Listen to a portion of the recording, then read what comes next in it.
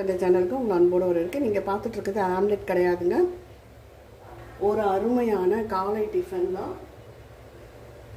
சப்பாத்தி தோசை மாவில் செய்யக்கூடிய காலை டிஃபன் ரொம்ப ஹெல்த்தியான டிஃபன் வாங்க இது எப்படி பண்ணுறதுன்னு பார்த்துடலாம். இதுக்கு வந்து சப்பாத்தி மாவு வேணுங்க. அப்புறம் தோசை மாவு.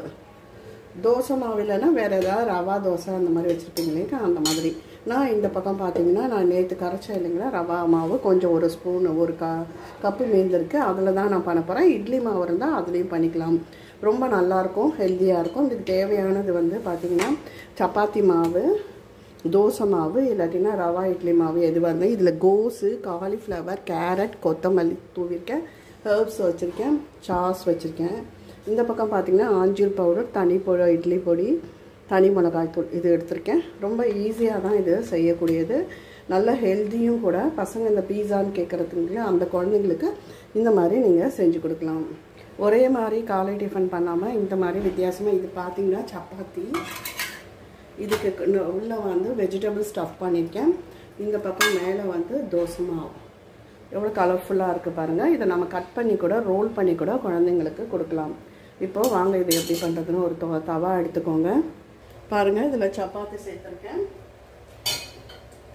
இதுக்கு மேலே பார்த்திங்கன்னா நம்ம தோசை மாவோ இல்லை இட்லி மாவோ இல்லை ரவா இட்லி எது செஞ்சுருந்தாலும் அதை நல்லா இப்படி ஸ்ப்ரெட் பண்ணி விட்டுருங்க. சிம்மில் இருக்கட்டும்.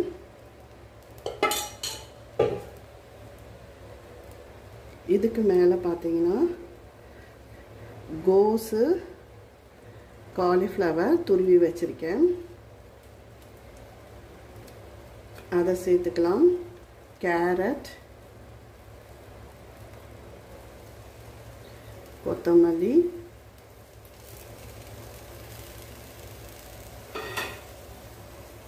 ஆம்ஜூர் பவுடர் மாங்காய் பொடி இட்லி பொடி தனி மிளகாய் தூள் குழந்தைங்க சாப்பிட்றாங்கன்னா கொஞ்சம் காரம் கம்மி பண்ணிக்கோங்க. நான் காரம் இல்லாமல் தான் இருக்குது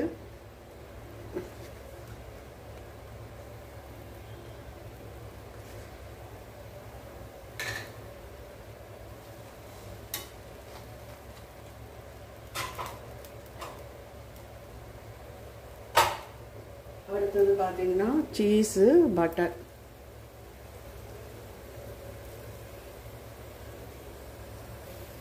அப்புறம் கொஞ்சம் எண்ணெய் விட்டுக்கோங்க. அப்புறம் பார்த்தீங்கன்னா ஹர்ப்ஸ் மிக்சட் ஹர்ப்ஸ் போடுறேன். நல்லாயிருக்கும் இந்த இப்படி போடும்போது உங்களுக்கு வந்து பீஸா சாப்பிட்ற மாதிரி இருக்கும் குழந்தைங்களுக்கு.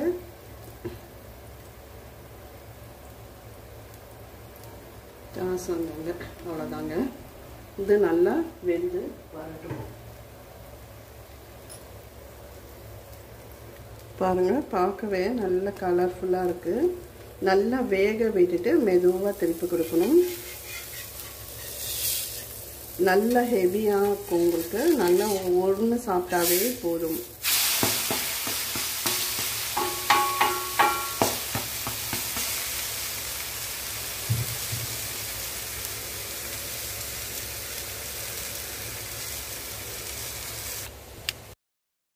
வெந்து வரட்டும்.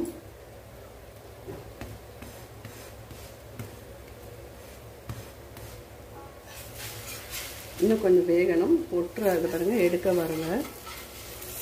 அந்த பீஸா அதாவது சா நம்ம போட்டிருந்த அந்த சீஸு பட்டர் எல்லாமே உருகி வரணும். நல்ல ரிச்சான ஒரு காலை டிஃபன் வயிறு ஃபில்லிங்காக இருக்கும்.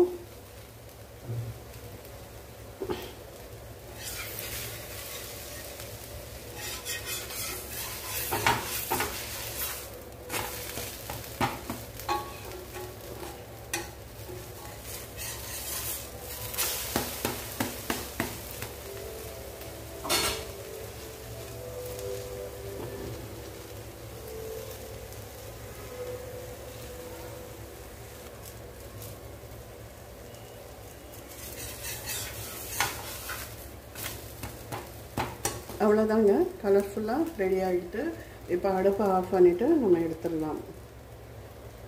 இப்போ பாருங்கள் அருமை ரெடி ஆகிடுது உங்களுக்கு பீஸா கட்டர் வச்சு குழந்தைங்களுக்கு கட் பண்ணியும் கொடுக்கலாம்.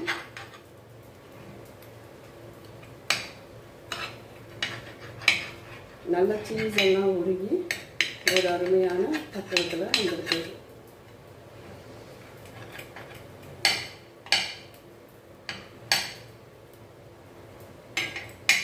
பாருங்க சூப்பராக ரெடி ஆகிருக்கு இதுக்கு தொட்டுக்க எதுவுமே வேண்டாங்க. சாஸ் இருந்தால் போதும். நம்ம இல்லைன்னா வெறும் வாயில் இந்த டிஃபனை சாப்பிடணும். கடைகளில் கிடைக்கிறக்க பீஸா விட இது சூப்பராக இருக்குங்க. இந்த சப்பாத்தி தோசை மாவில் கலந்து வெஜிடபிள் சேர்த்து செய்கிறது கண்டிப்பாக இதை நீங்கள் ட்ரை பண்ணி பாருங்கள் ரொம்ப அருமையாக இருக்கும். இது என்னோடய ஓன் ரெசிபி அசைவ பிரியர்களுக்கு ரொம்ப பிடித்தமாக இருக்கும் இது. கண்டிப்பாக இந்த வீடியோ பிடிச்சிருந்தா லைக் பண்ணுங்கள் ஷேர் பண்ணுங்கள் சப்ஸ்கிரைப் பண்ணுங்கள் கமெண்ட் பண்ணுங்கள் நன்றி வணக்கம். ஈவினிங் ஸ்நாக்ஸாகவும் கொடுக்கலாம். ரொம்ப அருமையான பீஸா பேஸில் செய்யக்கூடிய அருமையான அதாவது பீஸா பேஸ்னால் பீஸா பேஸில் தோசை மாவும் சப்பாத்தியில் ஒரு அருமையான சப்பாத்தி தோசை பீஸா